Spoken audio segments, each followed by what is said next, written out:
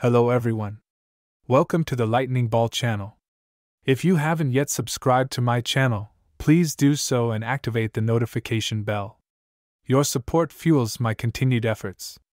In our previous episode, we saw how Vega attempted to invade and seize control of the labyrinth. However, Ramiris dispatched Zijin to confront him, and the outcome was unsurprising. Zijin utterly crushed Vega, shattering his arrogance and leaving him begging for mercy. But just as Zijin was about to deliver the finishing blow, something unexpected happened. In this episode, we'll shift our focus back to Dino. While Zijin and Vega were locked in their battle, significant changes were taking place on Dino's side as well, especially with Shuna set to reveal her powerful ultimate skill, Shrine Maiden of Guidance. So, let's get started. Seeing how Zijin subdued the once prideful Vega in less than five minutes left everyone at the command center in shock. It's important to note that because the floor Vega was on had been isolated, the command center's monitoring couldn't broadcast the fight. Ramiris was stunned, her jaw practically hitting the floor. Even as the ruler of the labyrinth, she didn't expect Zijin to be this strong. Benimaru, while more composed, was still impressed by Zijin's overwhelming power. He was also relieved that Zijin had fully accepted the labyrinth isolation plan. Though Zijin didn't need to take orders from Benimaru and was somewhat displeased with the isolation strategy, he understood that it was the best course of action and executed it diligently. So far, the plan devised by Benimaru and Ramiris had progressed smoothly, and both of them shared a rare moment of satisfaction. Let's rewind time a little and shift the perspective to Dino's arena, where the battle was nearing its conclusion. Benimaru turned his gaze to the large screen, silently motivating himself and vowing to protect the labyrinth for Rimuru sama. As for Ramiris, she anxiously watched her comrades on the screen, muttering about how even in this dire situation, Dino still wasn't pulling his weight. Indeed, the plan had reached a critical juncture. Ramiris intended to present Dino with a choice. If Vega could be defeated by Zijin, she would confront Dino and ask him whether he wanted to remain Feldway's puppet or return to the Monster Federation, and reclaim his freedom. If Dino and his group chose to stay with Feldway, Ramiris knew she had no other option. She didn't have the heart to kill a friend, so her plan was to imprison them in the labyrinth's prison, a special space where infinite cycles would prevent any escape. However, Ramiris wasn't hoping for such a dull outcome.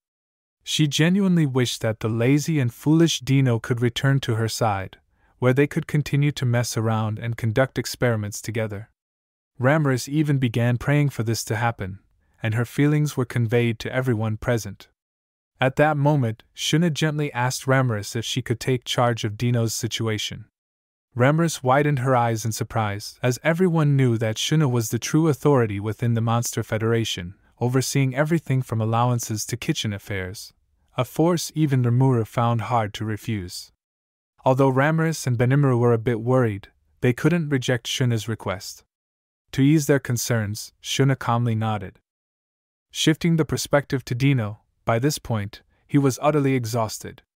He had already been killed four times since the beginning of the ordeal. As Beretta handed him yet another revival bracelet, Dino sighed inwardly. Though he had somewhat gotten used to being killed, Dino couldn't help but wonder why Ramiris was going to such lengths. If it were merely to get back at him, she wouldn't have been so resolute. Although Dino was lazy, he was also very smart. He quickly realized that Ramiris was angry because he had been following Feldway's orders. However, Dino felt an overwhelming sense of helplessness. Because he possessed an angelic ultimate skill, Lord of Justice's ultimate dominion was absolute.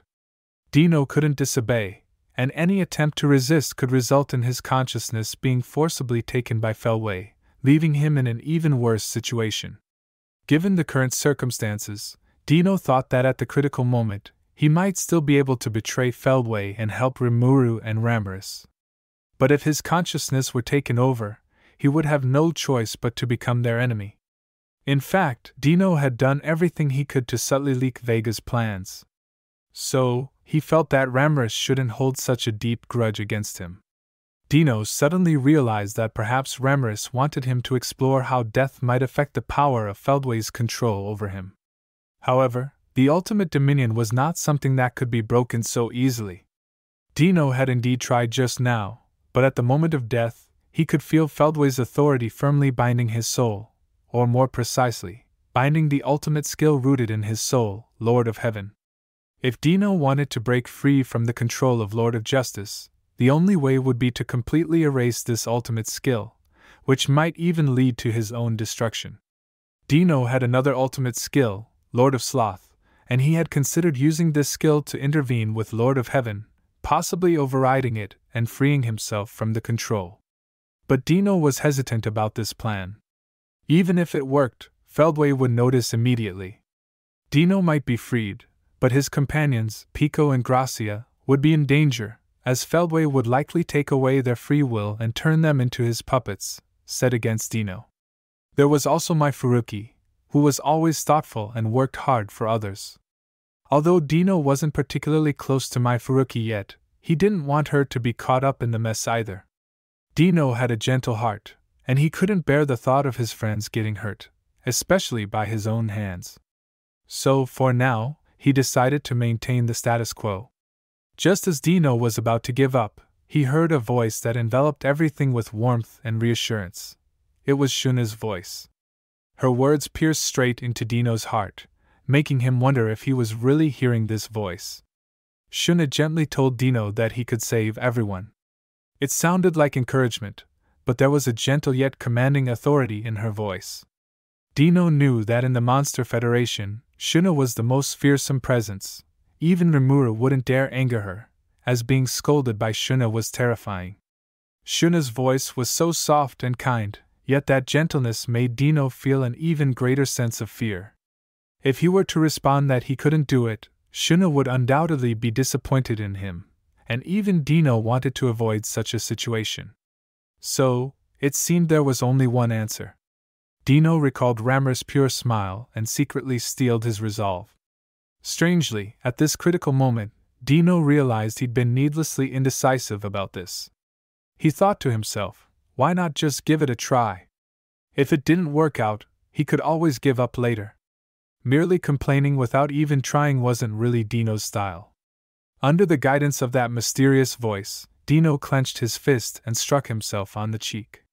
There was no pain, but he felt a sense of clarity. The significant shock seemed to numb his brain, and the continuous, dark fog of worry in his mind was swept away. Dino, now invigorated, boldly declared to his companions that he had made up his mind. Rather than remain bound by Feldway, he'd risk everything for freedom. However, Pico and Gracia stared at Dino with cold expressions. Pico casually remarked that, as expected, Dino wouldn't take action unless he had died four times, calling him ridiculously slow to act. Gracia criticized Dino, pointing out that while Dino kept telling them to conserve their strength, he was the one wasting his energy in battles, now so weakened that he probably couldn't even escape. These seemingly harsh words hit Dino like bullets. Mai Furuki also chimed in, saying that Dino's indecisiveness was something only Dino could manage. The truth was, his companions had long made up their minds. To others, these comments might have sounded like scolding, but to Dino, they felt like compliments. Dino smugly replied that there weren't many who could persevere like he did. Pico immediately rebuked Dino, saying that no one was praising him, while Gracia mocked his shamelessness. Despite the teasing, there was a clear sense of trust and confidence in Dino's resolve hidden in their words. Dino had initially thought he'd need time to convince Pico and Gracia, and he had worried whether Mai Furuki would listen to him. But now, he was astonished that he hadn't even needed to explain anything. Pico and Gracia urged Dino to act immediately, warning that if he failed, they would kill him themselves. Mai Furuki, though not fond of this all or nothing approach, expressed her trust in Dino, as she had no other choice but to believe in him. Dino smiled, looking over at Beretta, and said it had been a long time since he'd really thrown himself into a fight. With that, Dino stretched, his usually drowsy eyes now wide open, as he began explaining the plan to his companions. Originally, Dino, Pico, and Gracia could have used their administrative privileges to erase their angelic ultimate skills, but after Obera had used this method to break free from control, Feldway had found a way to block it. The book didn't specify exactly how Feldway had done this. Perhaps he had stripped the three of their administrator privileges. Or maybe, as the leader of the seven angels of origin, Feldway simply had higher authority. Under these circumstances, Dino planned to use the power of his Lord of Heaven ability, creative evolution, to attempt to delete the control circuit of Lord of Justice. At the same time, he would forcibly intervene in his companion's circuits using his full power. Since this had never been tried before, Dino wasn't even sure if he could delete his own control circuit, so it was a gamble. Worse still, he also needed to do it all before Feldway noticed. As Dino and his team were pondering their next steps, a figure approached. It was Shuna. She smiled and calmly offered her assistance to Dino, leaving him a bit flustered. Shuna continued explaining that she would mimic Dino's process of manipulating his ability and apply the same effect to the other three.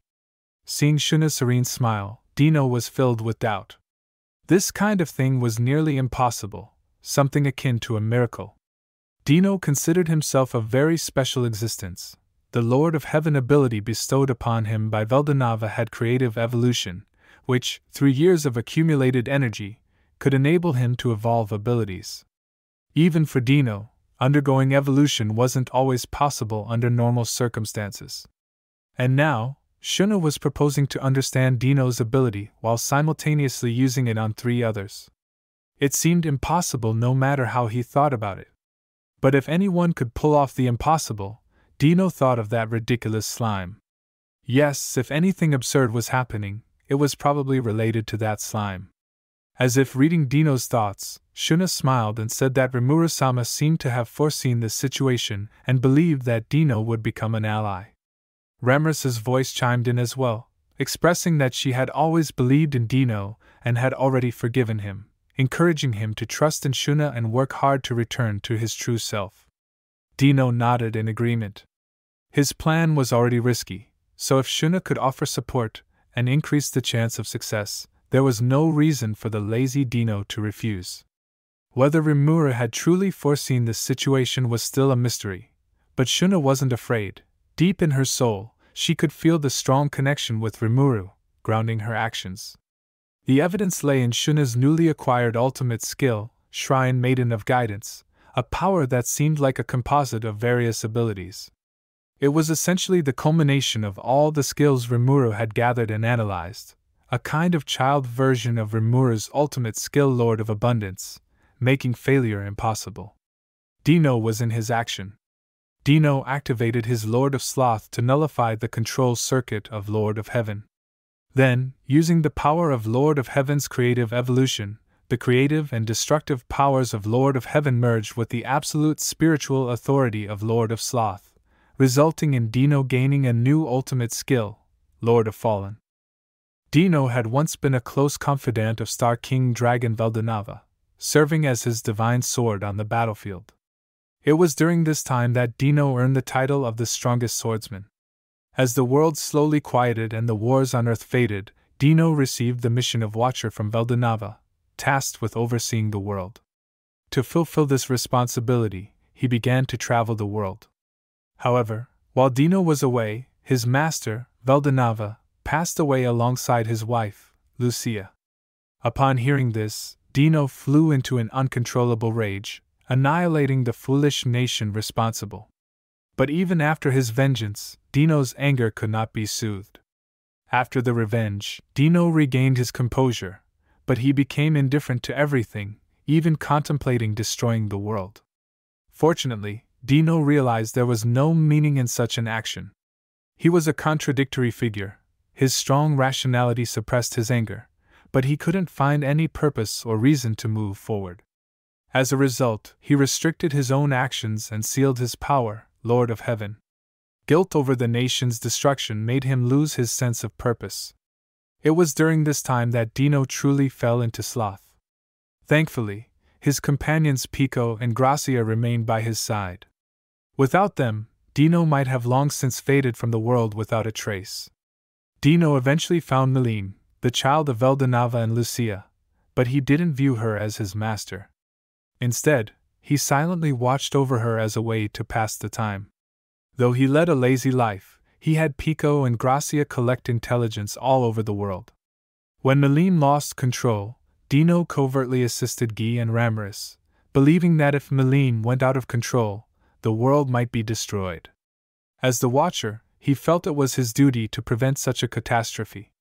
In this way, Dino found a new meaning for his existence, and even after becoming a demon lord, this way of life continued. However, the real turning point came during that fateful Walpurgis, when a small, insignificant figure named Clayman dared to strike Milim.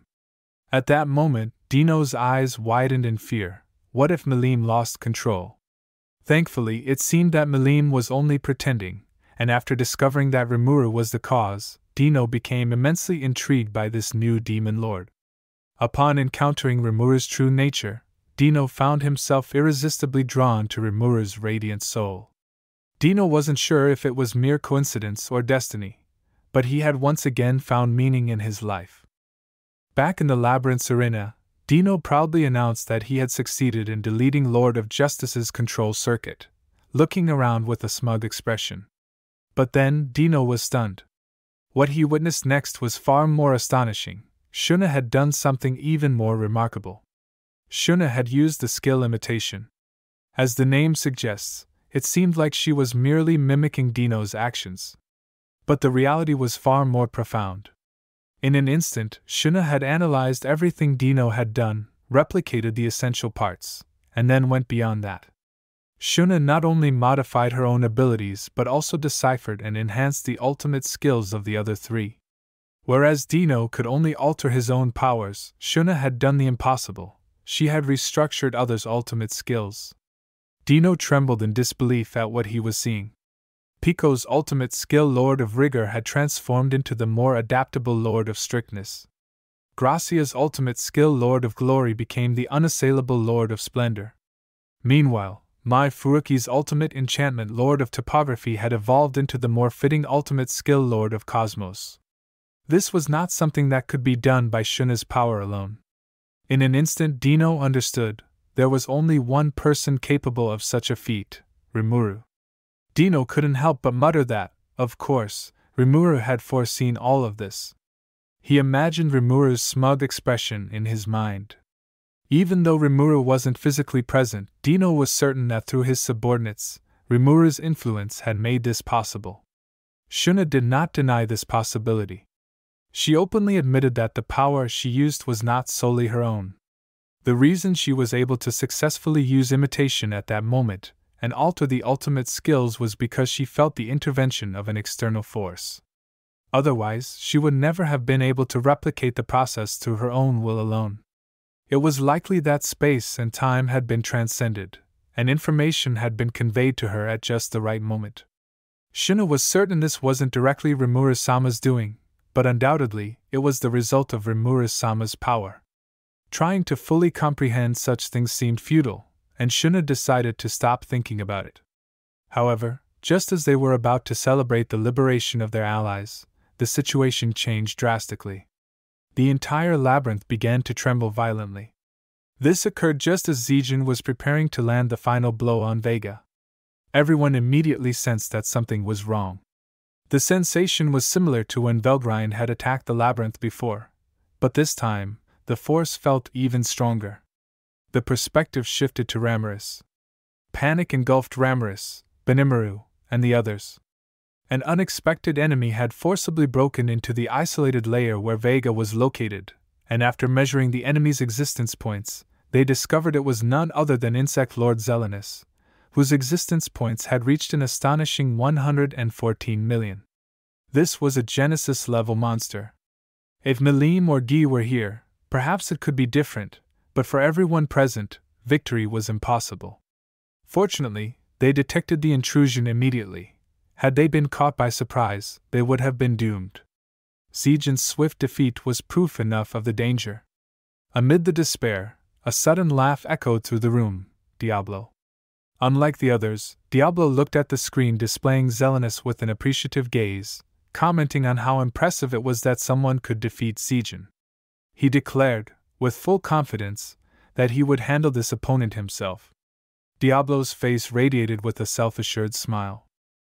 Alright, that's all for this video. I'm sure everyone has already noticed that Ciel's power has now surpassed the limits of time and space. The power Shuna obtained is undoubtedly a support from Ciel. Here's something worth noting. Although the book doesn't explicitly mention Ciel's involvement in Shuna's awakening of her ultimate skill, and the process is also presented as part of the voice of the world system, it's clear that Shuna's ultimate skill shrine Maiden of Guidance is a downgraded version of Lord of Abundance. This is pretty interesting. Previously, Ciel would directly announce changes in skills, but now she can even use the voice of the world to complete these transformations, which clearly shows that Ciel has made further progress again. For those who have read the web novel, you might recall that Ciel and Rimuru maintained a long period of fake death to deceive their enemies. So, I think that here in the light novel, when Rimuru returns, he may be operating in a low energy state at different times to mislead Feldway making him believe that Rimuru no longer exists in this world. In this way, Rimuru can secretly help the battlefield, as he did with Shuna. Of course, this is just my speculation, and we'll have to wait for Volume 22 to confirm it. As for the next episode, I think everyone knows what's coming Diablo vs. Zelenus. The most exciting battles of Volume 22 are about to unfold, including Diablo vs. Zelenus, Zijin vs. Zelenus, Diablo vs. Vega, and the epic team up of the strongest four against Vega. Although only a few episodes remain, each one will be incredibly exciting. If you enjoyed this video, please like, comment, and subscribe. Your support is greatly appreciated. See you in the next one.